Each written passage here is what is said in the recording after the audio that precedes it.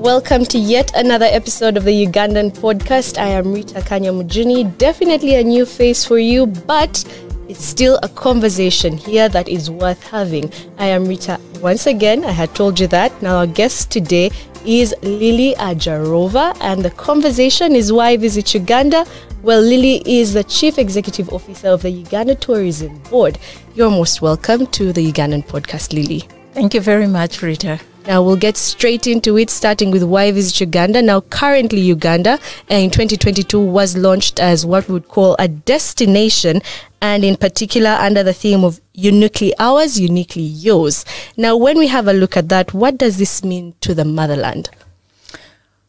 Thank you very much, Rita. Uh, destination Uganda is a beautiful destination. We have had the Pearl of Africa as our destination brand for a long time, but not clearly defined to everyone uh, who is in tourism business or even to the different people who actually visit Uganda.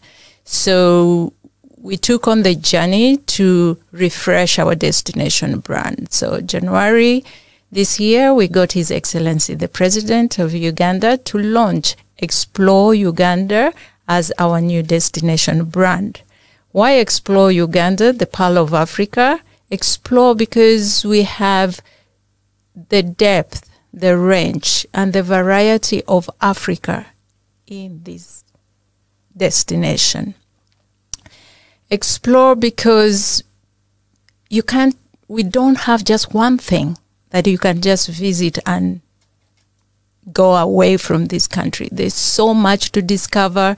There's so much to experience. There's so much for you to immerse yourself in. And that's why we're saying if you have to know what Uganda has to offer from the tourism perspective, then you have to explore it. And it is the offer that we are giving to everyone. And this is also for Ugandans. It has to start with us, the Ugandans first. So many Ugandans do not know their countries. So we are encouraging everyone through this brand to explore their own country, Uganda. It's the pearl of Africa. There, Uganda represents what the continent has from the landscape, the diverse culture, the precious rare species like the mountain gorillas we where we have 54% of the remaining population of the mountain gorillas in the world in Uganda. Uh, we have uh, 50% of the bird species that this continent has, and that's a representation of 11% of what the world has. We just have so much. The source of the longest river in the world is River Nile, and the source is in Uganda. Mm. We have the third highest point on this continent on Rwenzori Mountain, where the equator crosses, and there is permanent snow on it. Mm. So, the largest freshwater body on the continent, Lake Victoria.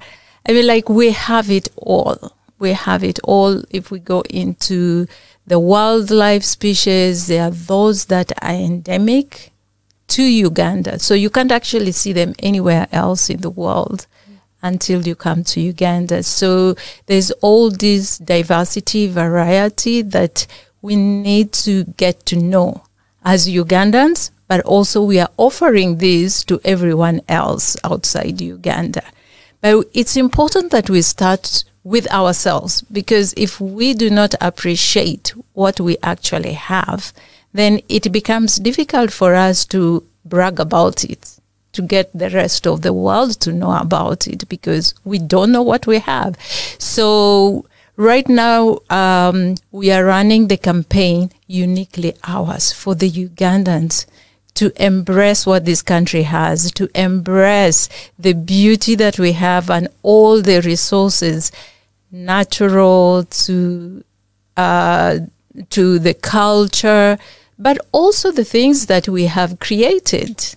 Yeah, we have very many unique things around that we can brag about. And uh, for that, we want Ugandans to get to know this, um, understand it, appreciate it, enjoy it, but also then be able to make the best use of it.